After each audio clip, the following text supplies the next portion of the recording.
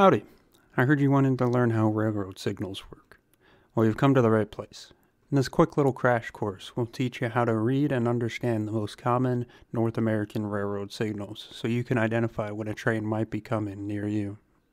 The most common signal types nowadays are these vertical color light signals, which are the ones we will be focusing on in this video. So, first things first, you got to determine if the area that you're in has automatic block signaling or CTC controlled signaling. This should be easy to determine even by the untrained eye. Automatic block signaling will always have a color displayed no matter if a train is 10 minutes away or 5 hours away.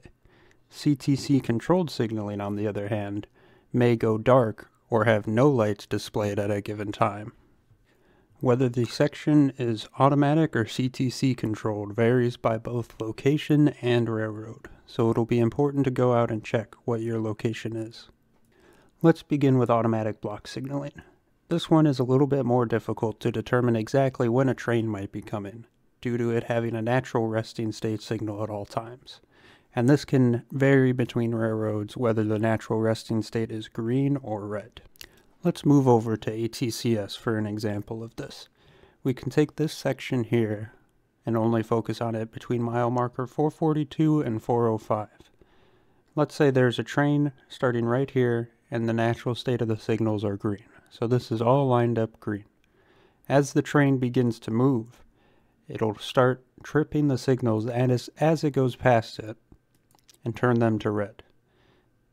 As it moves on, it continues to trip signals and turn them red. Once the train is out of the block that the signal covers, it'll turn back to green.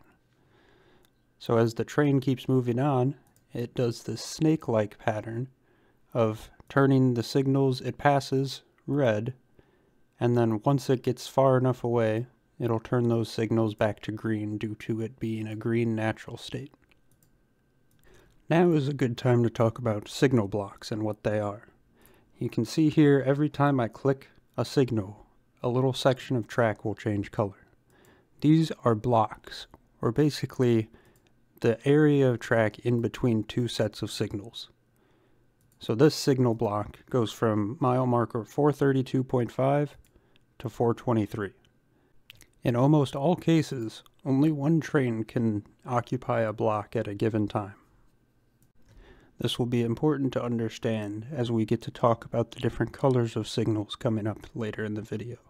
But you can basically think of a block as a section of track. Now let's move on to CTC controlled signals. This is the one where the natural state of the signal is often dark or shut off. So as an example, let's say there is a train right here in this siding moving this way. Before it starts moving, the dispatcher would give the signal to go green. And it depends on how far out they will give the signal depending on volume and other traffic. But they will only give a certain amount of signals. And then once the train passes the first signal, it'll turn that block red until the train leaves that block entirely. And then once the train leaves the block entirely, that signal will once again go dark until the dispatcher goes back and turns it on. Now, let's learn to read what exactly those signal colors mean, regardless of which type of signaling usage it is. The reference I will be using here is the Union Pacific signaling system.